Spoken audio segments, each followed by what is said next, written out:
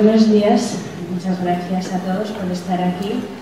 Para mí siempre es un placer poder compartir eh, algunas de las cosas que hacemos en el trabajo de investigación con docentes, con profesionales y tengo que decir además que es un placer añadido poder estar en el País Vasco, un, país con el que tengo profundas, vinculaciones eh, porque tengo muchos amigos aquí, vengo todos los veranos, así que para mí ha sido un adelanto. Además, esta vez tenemos un entorno increíble, yo nunca había dado una conferencia en un lugar así que girando la cara es el mar y eso que vengo del Mediterráneo.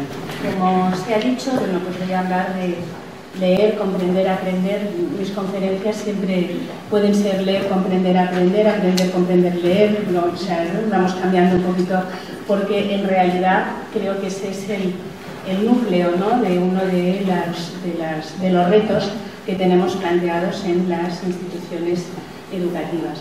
Y es una ventaja mm, cuando uno quiere hablar de estos temas dirigirse a asesores, a maestros, y a profesores porque en este caso seguramente resulta ocioso insistir en la estrecha relación que existe entre estos tres componentes.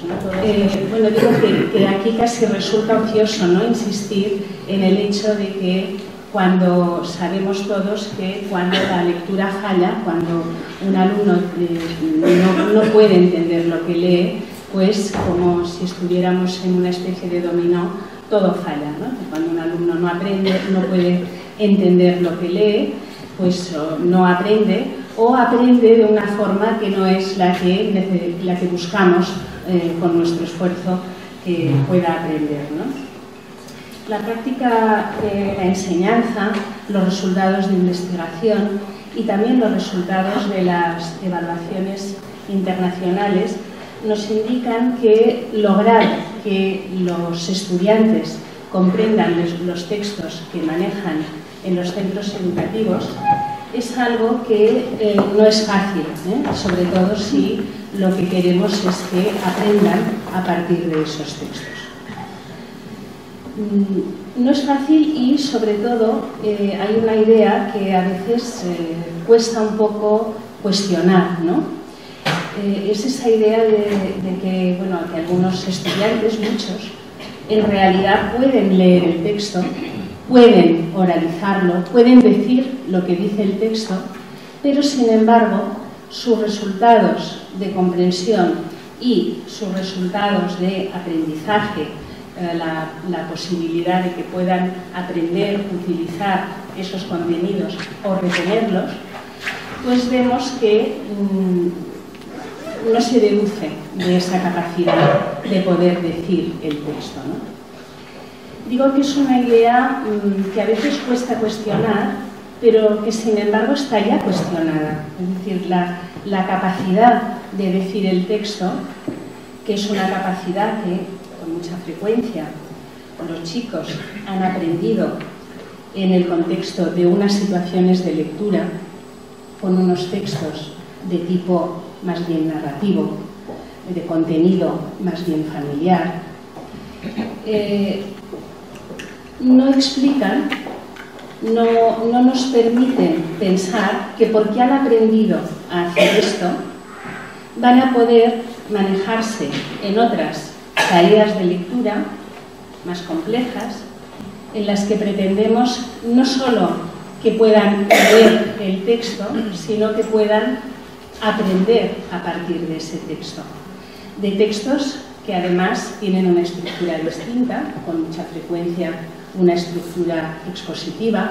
Cuando se trata de textos disciplinares o de textos, o el libro de texto, que, tiene toda su problemática, ¿no? pero incluso también cuando se trata de, textos disciplinares o del libro de texto, pues son textos que tienen una, una fuerte densidad informativa, eh, una estructura distinta a la, que ellos han aprendido y no digamos si además la tarea que les estamos proponiendo es una tarea que implícita o explícitamente les obliga a manejar no solo una fuente, sino más de una fuente. En estos casos eh, es bastante probable que alumnos que saben leer no eh, tengan el resultado esperaríamos en una tarea como la que hemos descrito. Porque en realidad, digamos, estos chicos lo que están haciendo es cuestionar una creencia que es confortable, pero que es errónea, ¿eh? que es la creencia de pensar que porque uno sabe leer, ese uno ya va a saber hacer otras cosas con los textos. Es como si pensáramos que porque yo aprendo a ir en bicicleta eh, por un espacio plano, cerrado y sin coches, voy a poder ir en bicicleta para hacer trial o para correr el Tour de Francia. Es que no es lo mismo. Evidentemente hay una competencia que ya está en la base de las otras, pero esa competencia, si siempre la entrenamos en el mismo lugar, en el mismo pavimento y en las mismas condiciones, no nos permite mm, asumir retos más complejos. Y la enseñanza, vosotros lo sabéis también como yo, no es más que eso, al menos en parte, ¿no?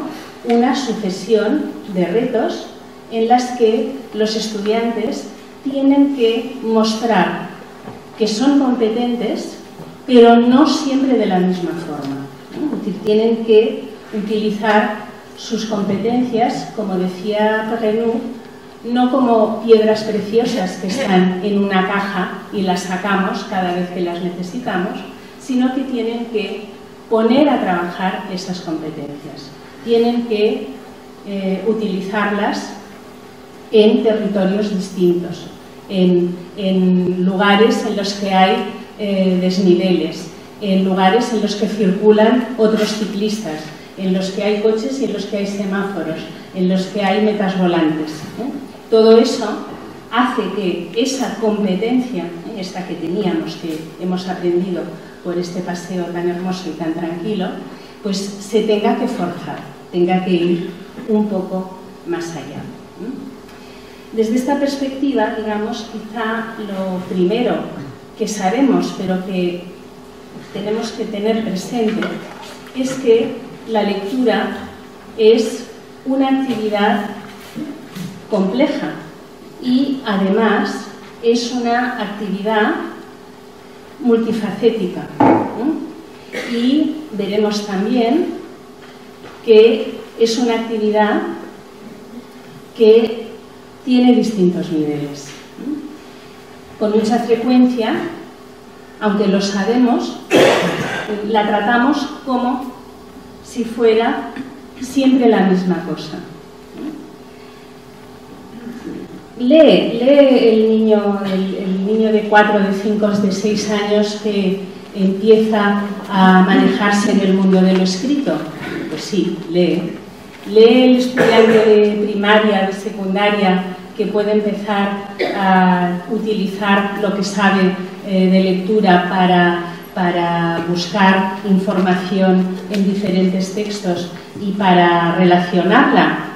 Lee, pero hace otras cosas diferentes de las que hacía el primer nenito Leemos todos nosotros en casa, en nuestro trabajo, por supuesto, pero nuestras tareas de lectura implican cosas diversas eh, y tienen diferentes niveles de complejidad y diferentes niveles de dificultad. Aún así, podemos mm, representar de forma simplificada la comprensión lectora como el producto de las variables que aparecen en, esta, en este esquema, en esta imagen, no sé cómo referirme a estas cosas. ¿Qué nos dice esta imagen? Pues una vez más solo sirve para recordar cosas que ya sabemos. Nos dice que la comprensión lectora, la comprensión que alcanzamos, que cada uno de nosotros alcanza de un texto particular, es el producto de la interacción entre un texto o más de un texto. Yo creo que esta idea de más de un texto no sé si la podré desarrollar mucho, pero quizá luego para el coloquio la podamos incorporar. El producto, digo, de la interacción entre un texto y un lector. Una interacción que además normalmente se da en el contexto de una tarea específica. Pues estamos trabajando eh, una unidad didáctica de ciencias, pues ahí los chicos tienen que leer unos textos sobre las características de los vertebrados eh, y, en otro texto pues a lo mejor eh, tienen que leer qué es lo que, lo que comen determinados animales y tienen después que integrar esas dos informaciones para resolver una tarea que los, les hemos propuesto. Es decir, en general, nuestra lectura se organiza alrededor de una tarea que sentimos como propia, que nos hemos autoasignado o que bien nos ha sido asignado pues, por un profesor, eso es bastante lo que ocurre ¿no? en las situaciones escolares y además tiene todo el sentido que así ocurra, o sea, no en absoluto lo que Entonces, en este, este proceso de interacción, eh, fijaros que bajan unas flechitas y en el lector tenemos algunas variables que impactan en lo que puede comprender de un texto. ¿Cuáles son estas variables? Pues las que veis aquí, la finalidad, los conocimientos que tiene ese lector, el sentido que le atribuye a la tarea de lectura, sus creencias sobre lo que quiere decir leer. Este es otro tema que no desarrollaremos, pero que quizá también luego en el coloquio podamos discutir. Y las estrategias, ¿eh? lo que es capaz de hacer con la lectura. La finalidad, los objetivos de lectura algunos eh, habéis tenido la amabilidad de escucharme otras veces y, de leer eh, ese, libro que para mí, digamos, es un libro muy querido, Estrategias, y habéis visto lo repesada que soy con este tema de la finalidad y de los objetivos que tenemos eh, cuando leemos. ¿no? Esta idea de que la finalidad, el objetivo del que nos dotamos, eh, va a influir en la comprensión que somos capaces de construir a partir de un texto. Si pensamos en nuestra vida cotidiana, en lo que hacemos todos nosotros en dos o tres días, vais a ver que leemos bastante y que leemos con finalidades muy diferentes. No es lo mismo leer cuando por placer, porque queremos la novela que estamos siguiendo, que leer para buscar una información precisa dentro de un texto, que leer mm, porque pensamos que eh, necesitamos esa información para transmitírsela a otros, porque queremos contrastar lo que sabemos con otras cosas para preparar una clase, por ejemplo, o para un asesor que está preparando una sesión de formación en un equipo de profesores. Leemos simplemente para, para no equivocarnos de autobús. Leemos para comunicarnos continuamente con otros y así algunos nos estamos digamos, enganchando a las redes sociales, al WhatsApp, etc. Pero si lo pensáis bien, nuestra lectura no es la misma.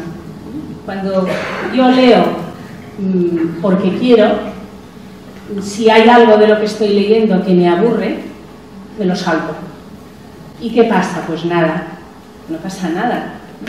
Pero cuando leo, porque estoy eh, manejando un material que creo que me va a ser necesario para preparar esa clase o esa actividad de formación, o no digamos aún si tengo un examen de lo que sea, pues claro, si algo no me interesa, no me lo salto, sino que tengo que seguir leyendo. Entonces, los objetivos de lectura tienen una finalidad muy importante. ¿Por qué? Porque mm, cuando uno lee con objetivos, para empezar, la tarea de lectura es una tarea que está dirigida. Seguramente todos habéis pasado por esa situación en la que eh, les ofrecéis a vuestros estudiantes un texto para que lo lean y una vez que lo han leído les preguntamos qué les ha parecido el texto y la respuesta a un texto que a lo mejor a nosotros nos ha entusiasmado, ¿no? Y a lo mejor la respuesta es, bien, pero eh, ¿os ha entendido? ¿Os ha gustado? Eh, ¿Y qué habéis entendido? No, bien todo. ¿Pero tenéis algún problema? Bueno, la segunda frase es que no la entendí. Claro, cuando la lectura no está orientada, ¿no? es como ir con la bici sin saber dónde voy. Pues me, da todo igual. Claro, si un chico no sabe por qué está leyendo este texto, qué busca en él, cuál es la intención, imaginemos que, por ejemplo, lo tiene que subrayar. ¿Qué hace? ¿Cómo son sus subrayados? Bueno, sus textos. Pues esos textos amarillos, o azul claro, o verde peor.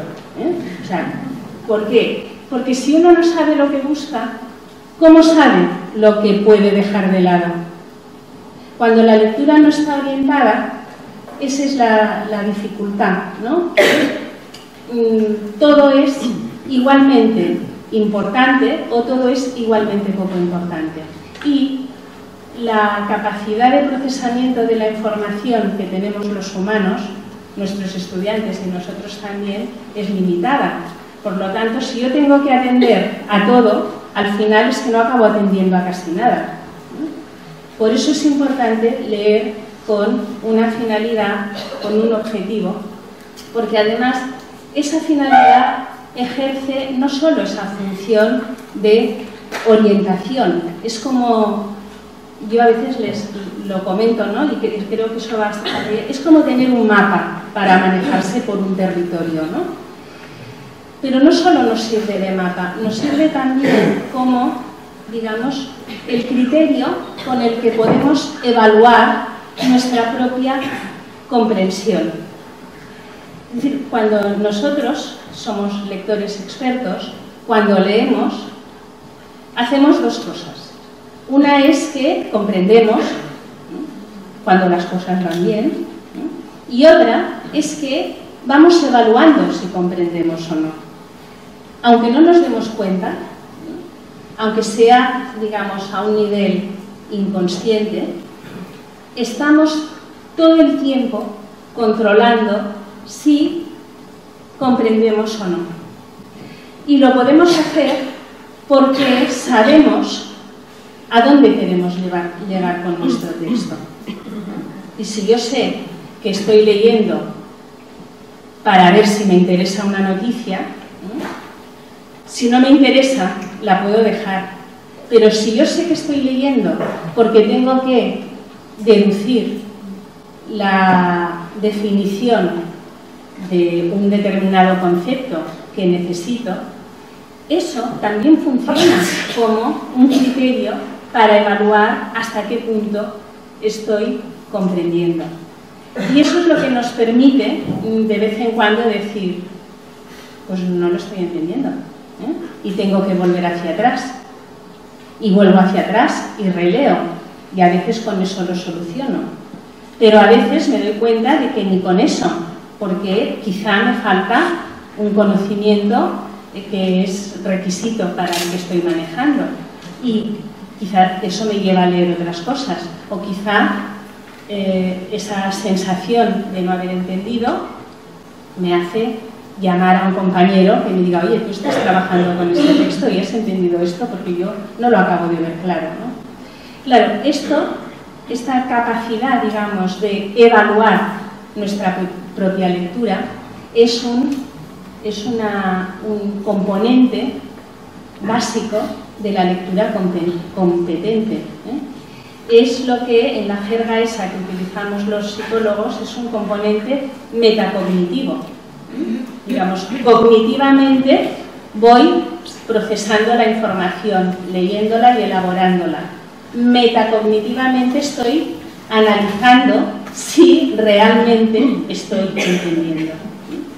También todos tenéis la experiencia de este chico, de esta chica, que lee, lo lee todo, le preguntas, pero ¿lo has entendido? Te dice, sí, pero en realidad no lo ha entendido. ¿Por qué? Pues porque este componente de regulación, de evaluación que hay a lo largo de la lectura, pues es un componente que está comprometido en estos casos.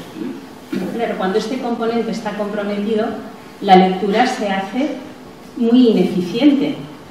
Si yo no me doy cuenta de que no estoy entendiendo, entonces no puedo hacer lo que necesito hacer para salvar esta dificultad.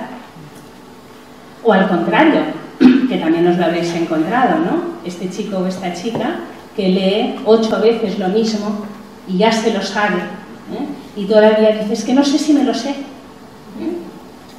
Decimos, es que es inseguro. Bueno, a lo mejor sí, pero desde luego lo que sí podemos decir es que no tiene muy trabajada esa capacidad de analizar qué sé y qué no sé.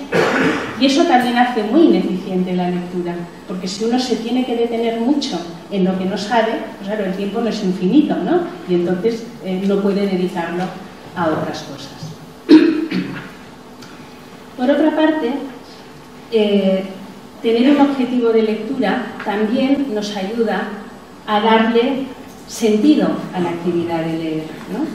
Con mucha frecuencia la lectura, que para los que somos lectores, pues es una amiga eh, maravillosa, ¿no? que uno quiere tener siempre al lado, que no se enfada cuando estás unos días sin hacerle caso, que te hace compañía en la consulta del médico, en los transportes, en los lugares más insospechados, que la puedes tener y no tener cuando tú quieres. Claro, para los que somos lectores competentes, pues eh, y, aficionados a la lectura, nos puede parecer mentira o raro que para muchos estudiantes la lectura sea un rollo, que sea una actividad rutinaria, una actividad que solo responde a unos, eh, digamos, a unos condicionantes académicos. Pero es que, claro, si uno lee sin saber por qué lee, o si lee porque toca, o si lee la página 42 porque el día anterior leyó la 40, pues no es lo mismo eso que leer porque estoy eh, elaborando un proyecto para el que me hace falta una determinada información, porque estoy en un debate y ahí hay una postura que se argumenta y ahí hay una postura que se contraargumenta. Quiero decir, la lectura no es insensible en absoluto a los componentes de tipo emocional y afectivo. Los mismos componentes emocionales y afectivos que a nosotros, a todos los que estamos aquí, quizá a las 11 de la noche, después de un día agotador en el que nos ha pasado de todo y hemos deambulado de aquí para allá, de allá para aquí, ¿eh? pues mm, en la cama, sentaditos o acostados, nos hace tomar un libro que estamos leyendo y sumergirnos un ratito en sus páginas. Pero si a esas horas nos hicieran leer un texto que no nos apetece, porque toca, porque es obligado, pues seguramente nos dormiríamos en la tercera línea.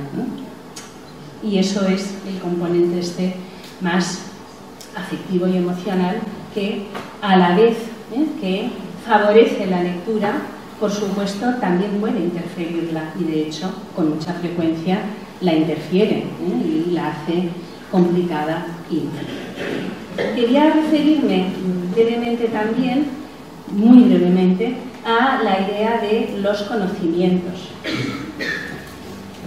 Puede ser un poco paradójico porque, por supuesto, una de las, de las finalidades que tiene la lectura y uno de los usos más claros que vemos para ella es que leemos para aprender, leemos para adquirir conocimiento.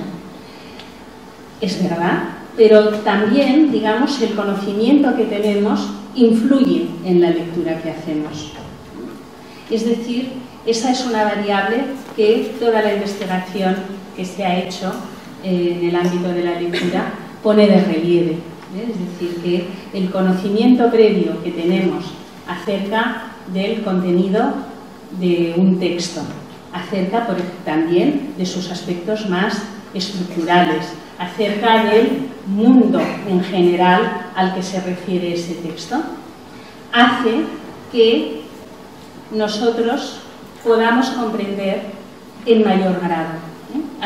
A, mayor conocimiento previo, mm, mejor comprensión de los textos que tienen que ver con ese conocimiento. ¿no? Es un poco como la, como la parábola, como, lo de Mateo, ¿no? De, digamos, cuanto uno más tiene, ¿eh? más tendrá. ¿eh? Cuanto más conocimiento tienes, mejor puedes comprender textos que hagan referencia a ese, a ese conocimiento. Entonces, simplemente, ¿no? si reflexionamos sobre la idea de la finalidad de la lectura, del sentido que le podemos atribuir a la lectura de estos componentes más emocionales, y a esta idea última que acabo de componer, de que acabo de formular muy brevemente, porque esto yo creo que está ya muy conocido y no hace falta volver sobre ello, ¿no? que es la idea de los conocimientos que tiene el lector, entonces tal vez comprenderéis que ante, esta, ante este esquema, ante esta figura que plantea una interacción entre el lector y el texto, yo os diga que sí, que es verdad, pero que de ese binomio, de ese binomio lector-texto, para mí el papel más importante lo tiene el lector. Y esto cambia un poco las cosas, porque durante mucho tiempo y para mucha gente, dentro de la, de, la interacción entre el lector y el texto, lo que se prima es el texto. Yo voy a, defender, lo vengo defendiendo desde hace muchos años, que en esa interacción el, estar, ¿eh? el protagonista, es el lector con sus conocimientos, con sus ideas, con la capacidad que tiene para sentir esa tarea de lectura como algo propio que le mueve y que le interesa. Entonces os voy a proponer ahora que leáis un texto que voy a, que voy a proyectar. Tenéis que leer un poco rápido porque lo voy a proyectar solo un momento.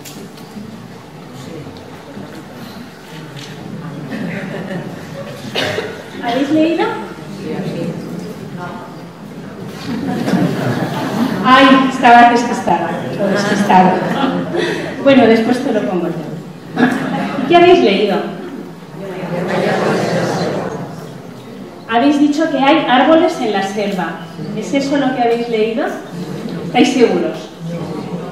Algunos no. Los que no están seguros, no están seguros porque han leído otra cosa o porque saben que estoy utilizando un truco retórico. ¿Apostaríais a que habéis leído Hay árboles en la selva? No apostéis mucho.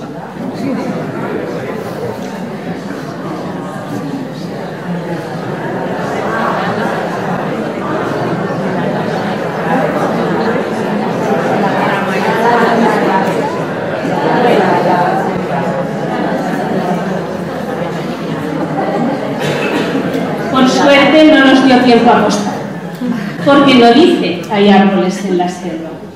Algunos todavía estáis leyendo hay árboles en la selva. Fijaros bien. Ahí pone que hay árboles, pero eso lo vamos a pasar porque se puede también leer árboles. ¿eh? Pero pone en la, la selva.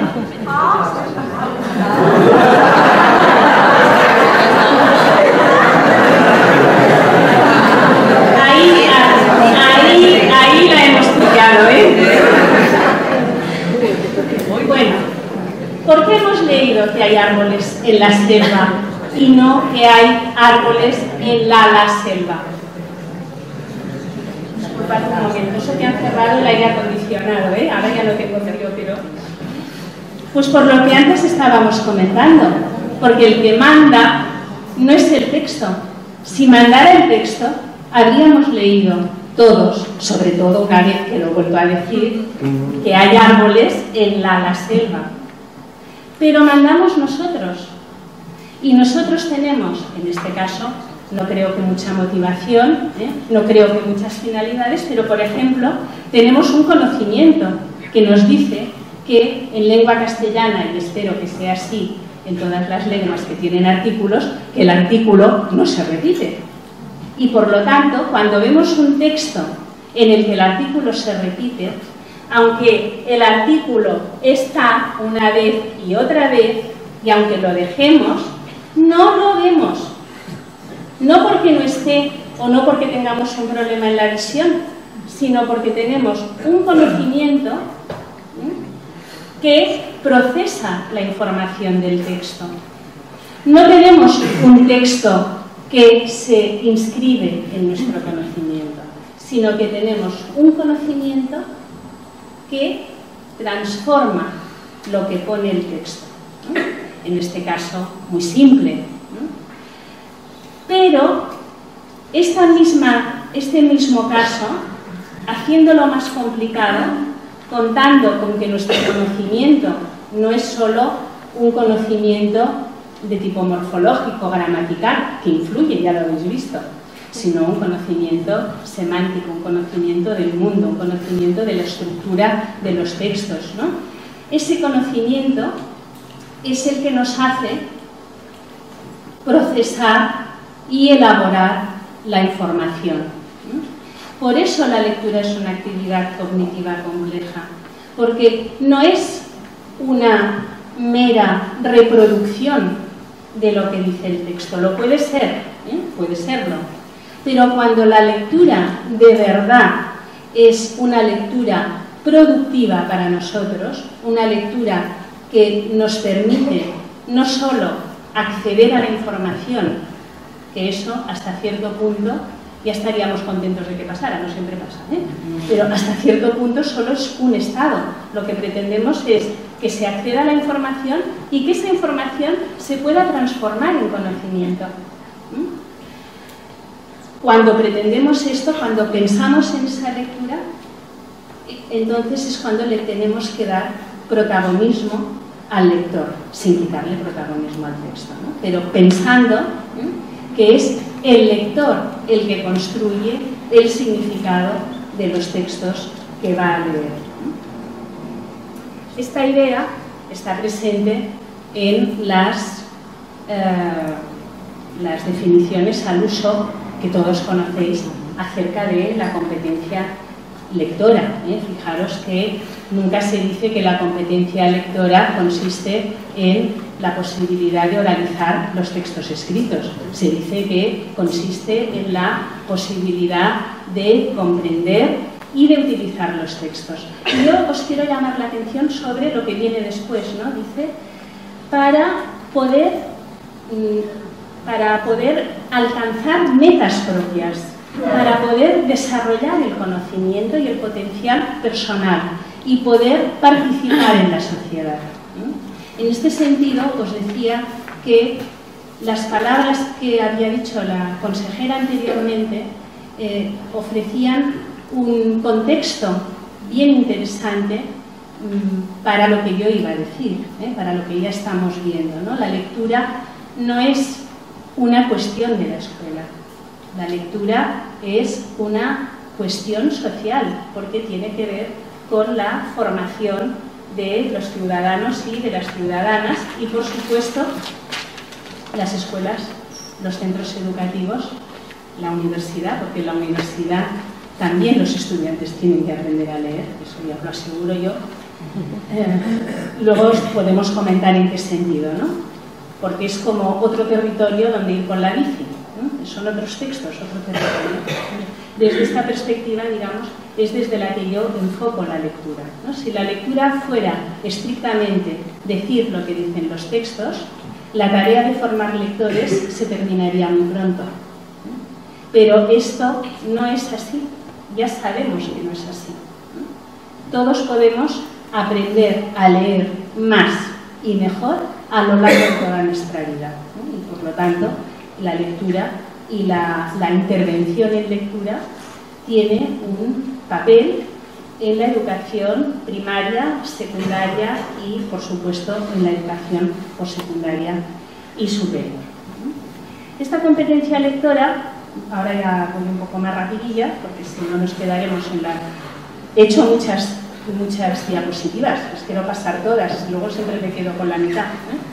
Bueno, esta competencia lectora eh, por supuesto es una competencia que se actualiza en textos muy diferentes, de distinto tipo, ¿no? de, persuasivo, propagandístico, narrativo, expositivo, argumentativo, que se presentan en formatos y en soportes diversos y que además eh, abordamos con una variedad de objetivos, ¿no? con motivos diferentes, con una determinada disposición afectiva y con unas determinadas estrategias. ¿no?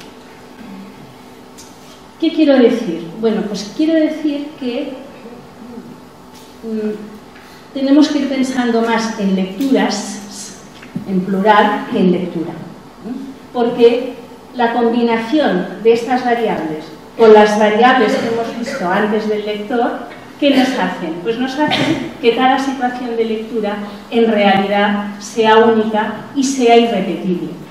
Y si bien podemos predecir que un buen lector normalmente tendrá menos dificultades para ir abordando diferentes tareas de lectura con textos distintos, de ahí no podemos deducir que un lector que sabe leer un texto literario, por ejemplo, va a saber integrar informaciones que proceden de dos textos expositivos, porque ahí hay una tarea de lectura diferente que le obliga a hacer cosas diferentes de los textos. O sea que, en conclusión, ¿no? podemos decir que, la lectura, que, leemos de muy diversas formas en función de la finalidad de la lectura y de cómo interactúan esas variables de tarea, lector y texto, podemos decir también que a medida que los niños y niñas aprenden determinados componentes de la lectura, se automatizan, pues nosotros tenemos muy automatizada la lectura. Esta, también es una de las causas por las que habéis leído que había árboles en la selva y no árboles en la, selva. Esta, esta automatización tiene una ventaja muy importante y es que libera recursos cognitivos y esos recursos cognitivos entonces los podemos utilizar para comprender, para, para, integrar, para elaborar, etcétera, ¿no? para todas estas operaciones que están vinculadas al aprendizaje, ¿eh? a un aprendizaje, digamos, que se sitúa entre dos polos, un aprendizaje más memorístico, más repetitivo y un aprendizaje más significativo, más profundo, pues en todas estas, en, en ese aprendizaje, cuando se vehicula a través de textos, están implicadas estas operaciones, la comprensión, la elaboración de la información, organizarla, relacionarla, integrarla, etc. Y la última conclusión es que la automatización tiene otra ventaja o, yo lo dejo en interrogante, o, una desventaja. Y es que la automatización permite decir un texto aunque no lo comprendamos. Es decir, nosotros podemos leer textos aunque no lo comprendamos.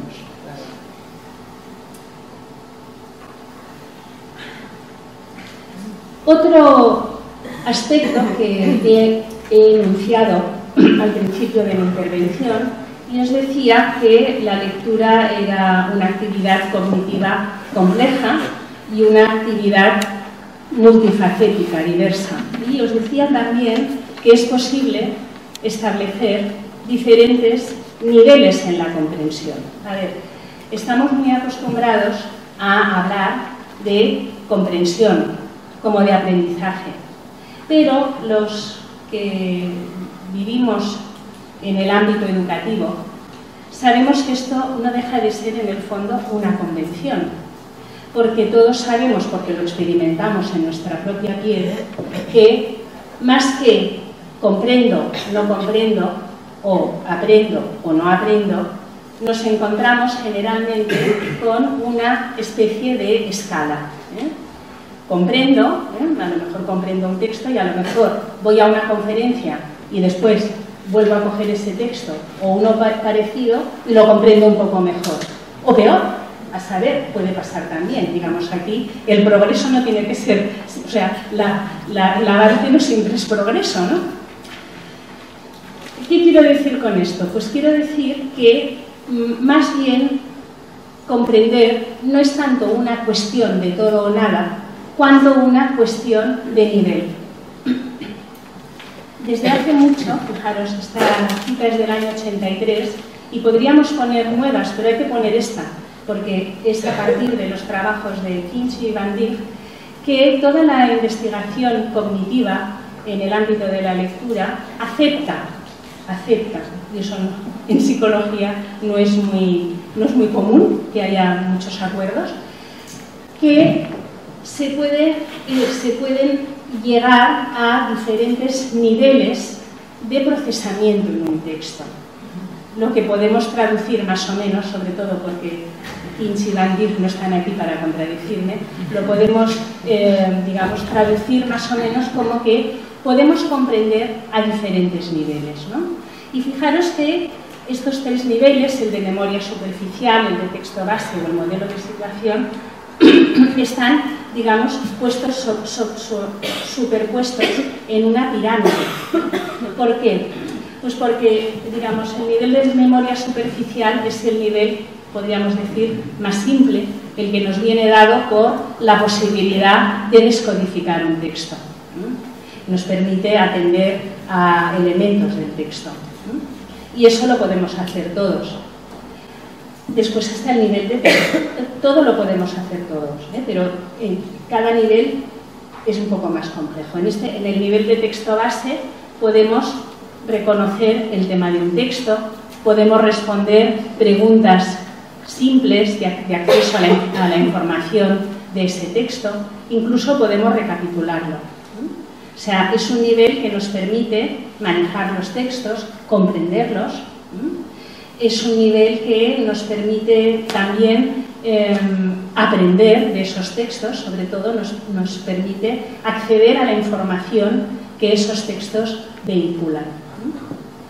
Y solo cuando, además de eso, podemos integrar lo que el texto nos dice con lo que nosotros ya sabemos, estamos en este nivel de modelo de situación que es un palabra muy extraño, ¿eh? que yo creo que los autores lo utilizan porque esta, este nivel de profundidad en el texto es como que va un poco más allá del texto. Nos permite entender el texto y situarlo en el mundo del que habla el lector, del autor, y nos permite integrar lo que ese texto implica con nuestro propio conocimiento. ¿eh? Estos autores dicen que es en este modelo de situación cuando realmente la comprensión puede dar lugar a aprendizajes perdurables. La misma idea de niveles la encontramos en otros autores, este también es muy conocido, no se ve mucho la referencia, pero la tenéis abajo. Yo luego voy a dejar, este, voy a dejar una copia de lo que estamos viendo. Eh, Wells y Fribody y establecen también diferentes niveles en la comprensión a la que podemos llegar de un texto.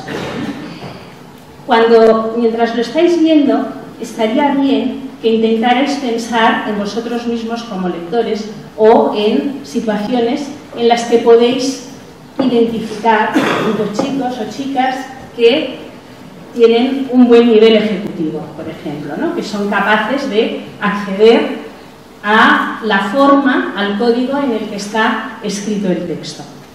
Este nivel no es que, porque lo digamos el primero, no es el más bajo, es muy importante, ¿eh? porque cuando uno no conoce el código, yo por ejemplo no conozco el código de, vuestro idioma y por lo tanto no entiendo cuando, cuando eh, habláis. Y aunque tenga mucho conocimiento previo, mucho interés, mucha disposición afectiva y muchos objetivos, pues me quedo igual, porque no puedo traspasar este primer nivel, ¿de acuerdo? Después hay un nivel más funcional, ¿eh? en el que ya podemos utilizar lo que sabemos para la comunicación habitual y cotidiana. Hay un nivel instrumental que nos permite utilizar la lectura para acceder a la información. Aquí quiero hacer un paréntesis. Con mucha frecuencia, cuando se habla de leer para aprender, yo creo que se habla de este nivel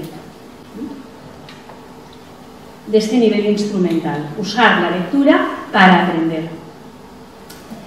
Y, sí, es cierto, pero cuidado porque eso todavía nos, deja mm, incompletos, ¿eh?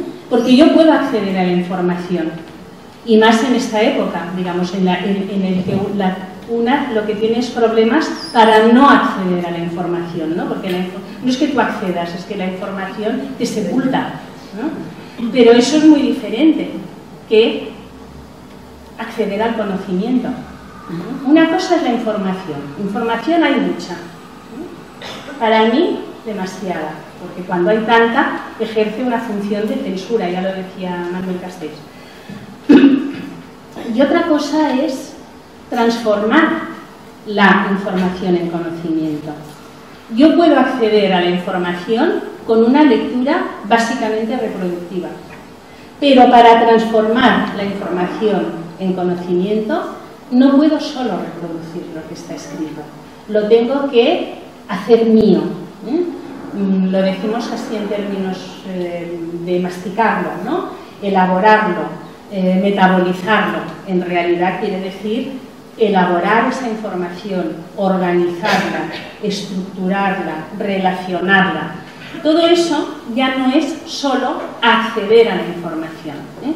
Ese es ese nivel más epistémico de lectura crítica también, ¿no? porque son esos procesos los que además nos pueden permitir valorar esa, ese texto que estamos leyendo.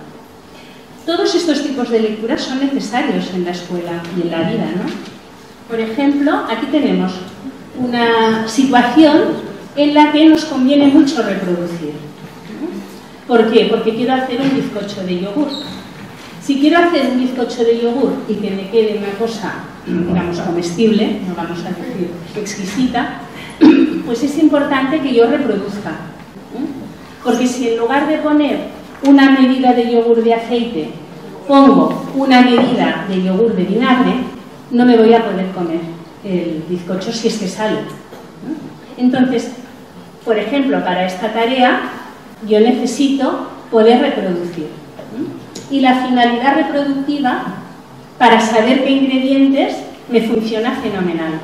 Lo mismo si me quiero aprender un teléfono, cosa que ya nadie hacemos, ¿eh? por eso el día que perdemos el teléfono, pues nuestra vida social queda completamente, digamos, disminuida, ¿no? Pero cuando antes la gente se quería ver un teléfono, pues era mejor que lo reprodujeras, que no fueras muy creativo con el número de teléfono, porque te salía una señora que además se podía enfadar. Ahora lo único que nos tenemos que aprender es ese horroroso número de 20 cifras de los bancos, ¿no? y ahí veis el problema que es no reproducir bien. ¿eh? Que te equivocas, que lo tienes que apuntar, que luego también pierdes el teléfono y también pierdes la cuenta del banco. Bueno, Ahora, también podemos tener que usar la lectura de forma instrumental o incluso quizá la quisiéramos utilizar eh, de forma epistémica. Veremos, veamos qué pasa aquí. ¿Podéis intentar leer este texto?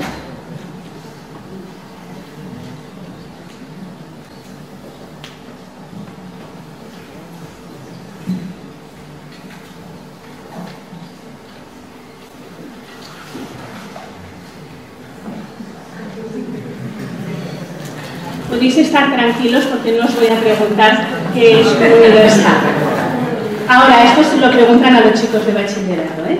Este texto es de bachillerato. Antiguito, sí, pero de bachillerato. ¿eh? Claro, ¿qué pasa con este texto? Pues que Abelardo tenía sus cosas. ¿Qué hacemos con ese texto? Pues nada, ¿no? Claro, eso nosotros, pues nada. Pero el alumno de primero de bachillerato que tenía que leer ese texto, ¿qué hacía con ese texto? desesperarse, ¿eh? digamos de desesperarse hasta, hasta tirarse por la ventana, pantallas, pero los alumnos tienen una opción mucho menos drástica, que todos conocéis. Aprendérselo de memoria, es decir, leer ese texto como la receta del yogur. Claro, para la receta del yogur ya nos iba bien, pero para el tema de los universales, que yo tampoco sé si es una cosa muy necesaria para esta vida, es posible que sí, ¿no? La receta del yogur, para mí sí, esto puede que también, pero si uno lo tiene que usar, solo con saberse qué géneros y especies son predicables de varios objetos, yo con esto no sé muy bien qué hacer. Si me preguntan algo donde yo tenga que usar algo de este texto, el tipo de comprensión que he hecho no me lo permite. ¿Por qué? Pues porque aquí vemos otra vez, digamos, la importancia de lo que aporta el lector a la lectura. Porque aquí, a mí, yo lo digo al público, a mí me falta conocimiento que me permita darle contexto a este texto. Por supuesto, me falta el texto de antes y el texto de después, que es muy probable que cuando lo leyéramos entero entenderíamos más cosas. Pero ese es un riesgo que corremos cuando la lectura, que debería ser comprensiva y profunda, por alguna razón se ve comprometida. ¿Por qué? Porque si nosotros tenemos que leer esto de Abelardo y no tenemos que hacer nada con él, pues una vez que hemos leído esto, eh, hemos leído esto decimos, pues estupendo, señor Abelardo, usted siga con sus universales y yo a lo mío. Pero si uno tiene que usar esto para un trabajo o tiene que, que mm, responderlo para un examen, pues tendrá que hacer una, usar una estrategia cognitiva que de todas las estrategias que podemos utilizar es la, la más simple, que es la de repetir y reproducir. La cosa cambia, por ejemplo, aquí tenemos un texto, que también es un texto denso, pero intentar leer este texto, el que está entre comillas.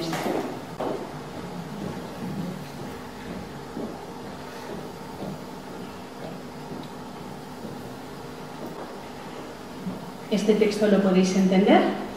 Sí. Si ahora yo os dijera, no miréis el texto, ¿podéis más o menos explicar lo que es comprender? Todos podríais explicarlo. Y explicaríais cosas que están en el texto y cosas que no están en el texto, porque las podéis aportar. Entonces, todos podríamos explicarlo, pero cada uno probablemente explicaría su versión. Y habría versiones más coincidentes entre sí que otras. ¿no? Porque en este caso lo que hemos hecho es mm, integrar ese texto con nuestro conocimiento previo y aportar nuestro conocimiento para darle sentido a este fragmento tan cortito. Contrariamente, aquí no podríamos reproducirlo. Para reproducirlo, además, tendríamos que repetirlo varias veces tal cual está. Y veamos todavía otro ejemplo Aquí tenéis dos textos, yo creo que no, va a dar tiempo a que los podáis leer, eh, que hablan de una misma situación. ¿eh? Hablan de, cómo las potencias extranjeras se posicionaron y apoyaron a los bandos contendientes en, nuestra guerra civil. Entonces, eh, esto forma parte de un trabajo de investigación en el que los chicos tenían que manejar tres textos que hablaban de lo mismo. Solo os he traído dos, porque los tres en la pantalla ya no cabían. ¿no? Entonces, una primera cosa que cuando los estudiantes tienen que manejar dos textos tienen que hacer es identificar que hay información que se repite o que se refiere a lo mismo en ambos textos. Aquí veis que está subrayado en rojo, ¿no?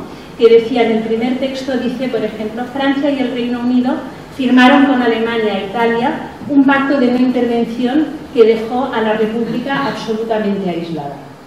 En el otro texto dice, Francia propuso la creación de un comité de no intervención en el que finalmente participaron 27 países, incluidos tal, tal, tal. Este comité acordó la obligación de todos los países integrantes de no intervenir en los asuntos internos de España. Dejémoslo ahí. Eh, los chicos que tenían que realizar esta tarea eran estudiantes de cuarto de eso y con mucha frecuencia su producción, el texto que ellos escribían, decía que Francia y el primero, Francia y el Reino Unido firmaron con Alemania e Italia un pacto de no intervención. Y en su texto ponían, y luego, el 1 de agosto de 1936, se creó un comité de no intervención, que es lo mismo, pero ¿cómo, le, cómo leían, cómo leyeron ellos? Un texto, otro texto. Claro, es que es lógico que lean así, porque ellos leen un texto y otro texto, pero aquí tenían que integrar la información de, de los textos. Esto es lo que hacemos nosotros continuamente y también lo hacen nuestros estudiantes, porque aunque no se lo pidamos, ellos entran en la red y buscan de aquí, de allá, de allá, de aquí, ¿y qué hacen? Copian y pegan. Claro, porque no integran. Porque para integrar, primero tienen que identificar lo que no identifican. Que es que está hablando de lo mismo, porque tampoco está... O sea, cuando lo lees, lo ves. Pero para eso hay que leerlo y ellos lo leen poco, pasan rápido. Estos textos nos van bien también para el tema de la lectura crítica. Por ejemplo, uno de los textos adopta una postura, es decir, y el otro texto no, se mantiene neutral. Para que los estudiantes puedan percibir y puedan acostumbrarse a la lectura crítica, también tienen que poder encontrar textos contrastados de este tipo. ¿no? Bueno, luego podemos volver sobre, sobre ello. Este tipo de lectura comprensiva, crítica, reflexiva, epistémica, epistémica, porque nos permite generar conocimiento, es una lectura que exige atribuir significado mediante nuestros conocimientos, que nos permite valorar lo que estamos leyendo, nos permite comprender que los textos no son neutros, que no son, digamos, la Biblia, ¿eh? en el sentido en el que eh, los cristianos antiguos leían la Biblia, ¿eh? algo que no, se puede variar. No, los textos son artefactos y desde la perspectiva, digamos, de una lectura más crítica, más epistémica, los alumnos tienen que entender esto. Este tipo de lectura también nos lleva a integrar información que está presente en diversos fragmentos del texto. Y eso tampoco es fácil. Ya habéis visto el, ejemplo que os he dado y espero que os pueda mostrar un par o tres de ejemplos en los que realmente, si esto nos enseña, es que los alumnos, al menos una buena parte de los alumnos, tienen dificultades para hacerlo. ¿eh? Otra cosa es que puedan responder preguntas sencillitas. Eso vale. ¿eh? Ahora ya que puedan elaborar y organizar, que eso es lo que quiere decir, eso es más difícil. Y luego también la lectura de la que estamos hablando es una lectura que exige y que tiene que hacer competente a los alumnos para poder manejar perspectivas distintas sobre un mismo texto, sobre un mismo tema. Porque si no, estamos hurtando una parte de lo que la lectura les puede ofrecer que es el contacto no con una visión, sino con varias, ¿no? Esto es lo que normalmente eh, andamos, andamos buscando. Por lo tanto, digamos, está aceptado ya por también diferentes investigadores, no, no he puesto a nadie aquí, pero es así, que hay como dos visiones, digamos, no diría opuestas, pero que se encuentran en dos polos de un mismo continuo sobre la lectura. Una visión más bien simple de la lectura, según la cual eh, para un texto hay un significado, es decir, una visión simple según la cual si en un texto pone que hay árboles en la selva, vamos a leer que hay árboles en la selva. ¿eh? Un texto, un significado. Y una, visión más compleja de la lectura, según la cual para un texto hay diversas interpretaciones posibles. ¿eh? Interpretaciones a las que llega cada uno de los lectores en función de sus conocimientos, de sus intenciones, del sentido que le da leer y del contexto en el que se encuentra realizando esta lectura. Varias interpretaciones sin que todas sean posibles, porque para eso está el texto. El texto admite determinadas interpretaciones, pero no admite todas. Ante un texto podemos entender cosas distintas, distintos lectores. Podemos priorizar determinadas ideas, pero si un texto es de mamíferos, señores, es de mamíferos, no es de rocas. Y para eso sirve también la literalidad, que como sabéis fue un invento, digamos, que no está en el inicio de la lectura, sino que es algo que surge un poco más adelante. ¿no? Entonces, ¿qué es lo que hace que podamos llegar a estas interpretaciones distintas sobre los textos? Pues los elementos que ya he dicho, los conocimientos, la motivación, etcétera, y de una forma muy importante aquello que somos capaces de hacer con el texto, es decir, las estrategias que somos capaces de poner en marcha cuando tenemos que abordar una situación de lectura. Antes hablábamos de la bicicleta, pues podéis ir haciendo la analogía si queréis. Claro, ¿por qué hablamos de lectura estratégica? Porque realmente cuando la lectura está autorregulada, la lectura tiene una dirección, busca un objetivo, tiene una finalidad. Hablamos de lectura estratégica porque cuando sabemos cuál es esa finalidad, podemos planificar cómo vamos a leer. ¿Alguien de la sala lee el periódico desde la primera página hasta la última? cuando había periódicos de papel, porque ahora no entra por la noticia que le da la gana. Pero incluso entonces no lo hacíamos. ¿Por qué? Pues por la razón que fuere. ¿eh? Pero no todos los textos los tenemos que leer de la misma forma. ¿eh? No nos hace falta. ¿eh? Algunos textos necesitamos leerlos desde el principio hasta el final y otros textos que a lo mejor envuelven el contenido que nos interesa en un contexto más amplio, podemos saltar. Y si luego necesitamos, ya volvemos. Pero el lector competente es un lector estratégico, es decir, manda él sobre la lectura en función de lo que necesita. Y luego es estratégica por lo que antes comentaba, porque está sujeta a esta supervisión, esta evaluación que vamos realizando a medida que vamos leyendo. Un segundo. ¿Cuánto, ¿De cuánto puedo disponer? De nada. Mucho mejor. Estupendo. Solo son 10 minutos.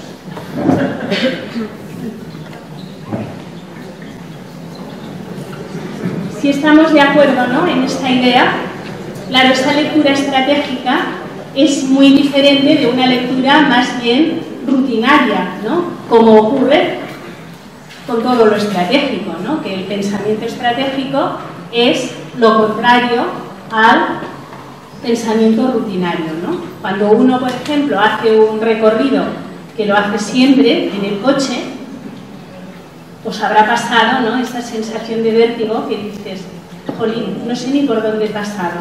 He salido y he llegado y no sé ni por qué. Porque es tan rutinario que uno ya no se fija en nada. O sea, va a saco, ¿no? A piñón fijo. Sin embargo, cuando en el mismo recorrido tienes que meter dos o tres cosas, pasar a recoger la compra que se dejó, luego dejar al niño eh, y recoger a la mamá, entonces eso ya te obliga a repensar todo el recorrido, a tomar decisiones, a evaluar si lo has pensado bien y si no lo has pensado bien, a moverte de calle. Eso es lo que hacemos con la lectura.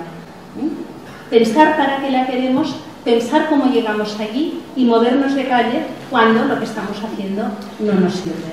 Pero para eso, digamos, tenemos que tener una finalidad con la lectura. Porque si la finalidad de la lectura es responder preguntas absurdas sobre lo que estamos leyendo, pues con hacer una lectura absurda tendremos suficiente. Es es así.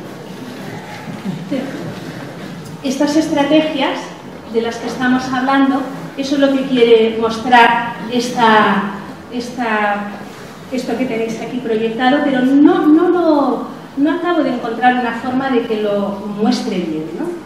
La idea de que para trabajar la lectura hay que trabajar antes de la lectura, durante la lectura y después de la lectura.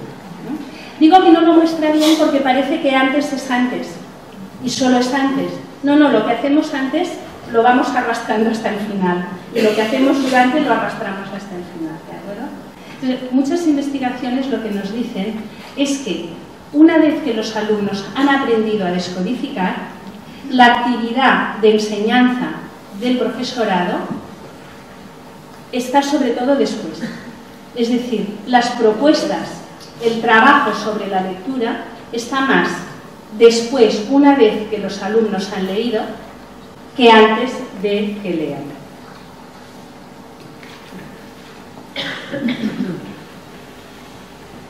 Bueno, ¿cuál es la buena, la buena noticia? La buena noticia es que estas estrategias de las que hemos estado hablando, ¿eh? las que tienen que ver con lo que se pretende, con el conocimiento previo, las que tienen que ver con la evaluación, las que tienen que ver con diferenciar lo que es esencial de lo que es menos importante, con evaluar que vamos consiguiendo los objetivos. La buena noticia es que esto se puede enseñar y se puede aprender. La noticia óptima óptima es que esto no solo va bien para la lectura, sino que para todas las eh, capacidades lingüísticas, estas, estrategias son necesarias. Es decir, yo escucho, ¿eh? una cosa es que oiga, ¿eh? pero si escucho es porque tengo un objetivo. Y si entiendo lo que escucho, es porque estoy pendiente de si lo entiendo. Y si no lo entiendo, porque paro a mi interlocutor y le digo, ¿me lo puedes repetir? Y cuando escribo, si escribo, es porque tengo un destinatario, porque tengo algo que decir. Puede ser algo, digamos, más o menos apasionante, pero algo tendré que decir y mm, para hacerlo tendré que pensar cómo lo hago. ¿Qué le digo primero? ¿Qué le digo segundo? ¿Qué le digo tercero? Aunque cada una de las competencias básicas en lectura, de las competencias básicas lingüísticas, tiene sus propias eh, peculiaridades, estos elementos son elementos que se pueden trabajar de forma eh, conjunta o de forma, digamos, más bien particular, pero que nos van a servir para todas ellas. Es decir, una vez que los alumnos entiendan que es necesario tener un, objetivo y que los profesores seamos capaces de ayudarles a tener esos objetivos, eso les va a servir para escribir, para hablar, para leer, para todo. Por eso digo que es una noticia óptima, ¿no? Porque una cosa que se puede enseñar y que además nos sirva para tres o cuatro aspectos, pues a mí me parece que eso está bastante bien. Bueno, llegados hasta aquí, eh, yo quería dedicar unos minutos, pero creo que vamos a tener ya muy poco tiempo, lo podemos probar, eh, para reflexionar un poco sobre tareas de lectura que pueden favorecer el desarrollo de la competencia lectora. ¿eh? Y lo voy a concretar, porque llegados hasta aquí yo ya, ya sabía que no tendríamos mucho tiempo. No voy a hablar en general, vamos a hablar de una actividad bien interesante luego lo vemos. Eh, voy a hablar también de forma un poquito grosera, ¿eh? de tareas más bien simples, que tienen que ver con la lectura, y de tareas más bien complejas. Esto es una simplificación y lo sabéis, ¿eh? pero para lo que necesitamos ahora yo creo que lo podemos aceptar.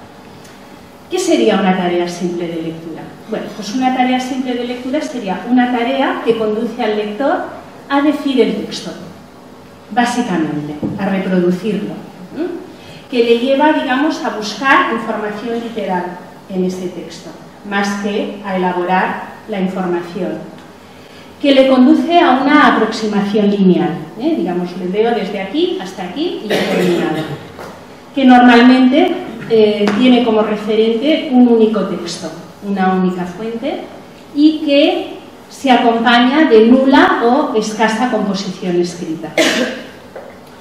En el otro extremo, ahí todas las variantes que queráis, tendríamos actividades más complejas de lectura, ¿eh?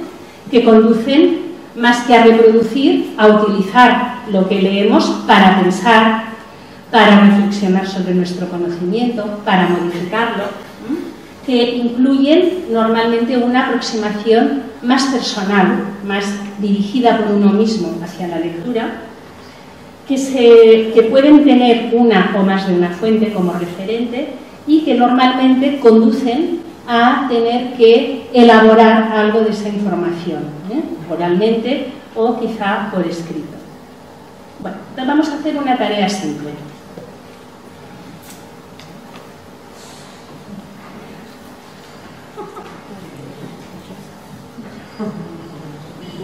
Aquí dice, Teresa estipulaba un rigopo y lo arcamonía a Carmen. Alberto no cansalutaba rigopos y tampoco puestas, porque él y Luis costunían sipas en el garaje. Menos mal, a mí esto de lo del garaje me tranquiliza mucho.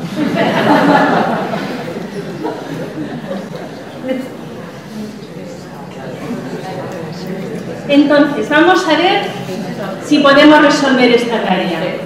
¿Quién estipulaba un rigopo? ¿Por qué Alberto no cansalutaba rigopos ni puesas?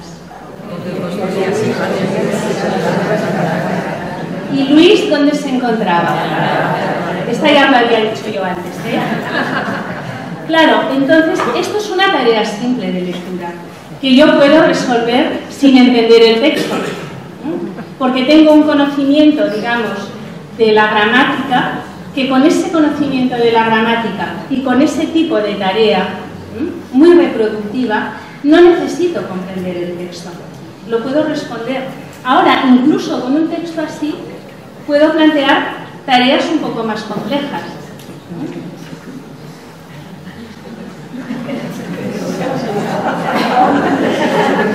Claro. Esta tarea, aunque se refiere al mismo texto, yo ya no la puedo responder. ¿De acuerdo? Entonces, solo para terminar, no, nos va a dar más tiempo, ¿eh? Eh, vamos a ver solamente una tipología de preguntas que todos conocéis, solo para ver que usando preguntas podemos ayudar a una lectura muy reproductiva, a una lectura muy interpretativa, inferencial y epistémica y a una lectura crítica. Lo podemos hacer con la misma tarea que es la de formular preguntas previas antes de un texto o posteriores. Bueno, aquí había un ejemplo de un texto, pero esto sí que no nos da tiempo. Era, era para ir ejemplificando. ¿eh? Tipos de preguntas. Bueno, pues hay preguntas de acceso a la información. Por ejemplo, en el caso del texto que hemos visto, ¿por qué motivos se des... Bueno, hemos visto, no, lo he visto yo, ¿eh? perdón, porque no lo habéis podido ver. Bueno, vamos a verlo en un momento. ¿eh? Preguntas que en realidad si pregunta quiénes son los emigrantes o por qué motivos se desplazan los emigrantes, pues aquí dice los emigrantes emigran por motivos económicos. ¿Eh? Esto es una pregunta de acceso a la información y en este caso literal. Puede ser parafraseada o literal. Eso es un tipo de pregunta. Vamos a ver otro. preguntas de interpretación. ¿eh? Ya te hacen pensar, buscar, relacionar. Por ejemplo, ¿emigrantes y refugiados se desplazan por las mismas causas? Explícalo. Claro, en este texto, aquí, en ningún momento sale la palabra causas. Vosotros me diréis, hombre, pero ya se sabe, perdón, lo sabéis vosotros. ¿Eh? Puede ser que un alumno tenga que inferir lo que es una causa y lo que es una consecuencia. ¿eh? Y además eso, ¿qué nos hace? Nos hace no decir lo que es un emigrante, sino pensar lo que es un emigrante, pensar lo que es un refugiado, mirar por qué causa uno se desplaza y por qué causa se desplaza el otro, es decir, comparar. Mirar información que está diseminada en el texto y a partir de ahí extraer una conclusión. Esa respuesta, contrariamente a la anterior, no está en el texto. Por eso a veces les planteáis preguntas a vuestros chicos y ellos dicen, Señor, no está. Señor, no está, no la encuentro, no, claro, hija, porque no está. La que pensar un poco. Pero hay que enseñarlo, hay que enseñar a pensar.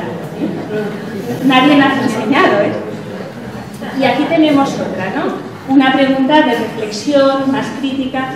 Varias ONG han denunciado que determinados países consideran como inmigrantes a personas que en realidad son refugiadas y tramitan entonces su expulsión. Bueno, se quedó cortado. ¿Qué opinión te merece este hecho? ¿no?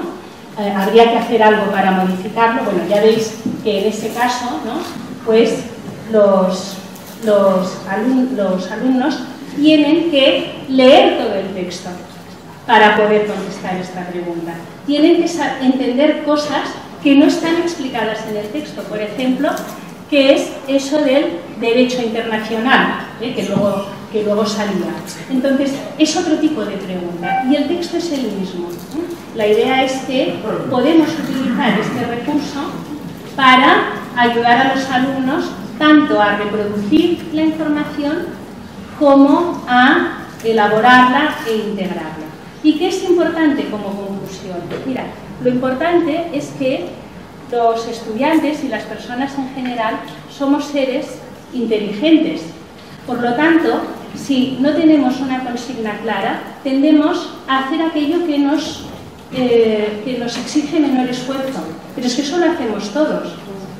Entonces, si, si no forzamos un poco esa competencia lectora, se nos queda un poco enquilosada. Para que esa competencia se desarrolle, para que vaya más allá de donde la encontramos cuando asumimos un grupo de estudiantes, un grupo de alumnos o un grupo de profesores que quieren trabajar, entonces tenemos que preparar territorios diferentes por donde esa competencia pueda transitar.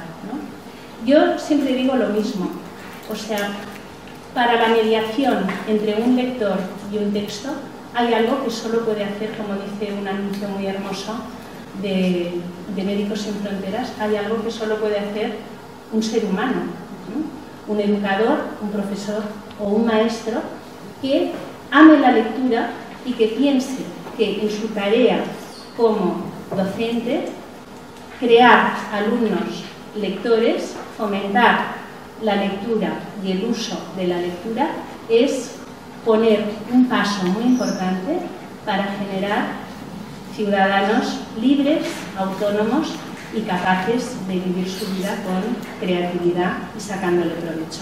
Bueno, muchas gracias.